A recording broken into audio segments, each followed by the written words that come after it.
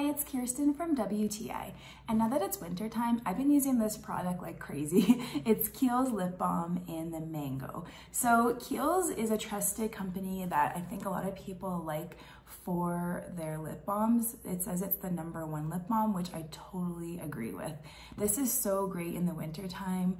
Um, the cold air, the wind, it definitely makes my lips super dry, super cracked. So I've been loving this product. I keep one in my bag at all times. I always break it out and I always share it with my friends because um, I really like how here you can see the application. You can just squeeze out a little bit you can see the consistency here. You just need a little bit, so a little goes a long way. So this tube can last you all winter, no problem.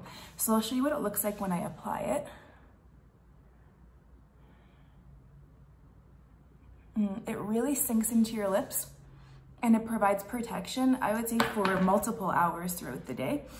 Mm, and I love the scent. The mango scent is so nice. It definitely comes in other scents as well, but mango is my favorite. It gives it a nice tropical feel. So the Kiehl's Lip Balm, it's a must for anyone during the winter. You won't regret this purchase. I promise you'll love it just as much as I do. And that's my point of view.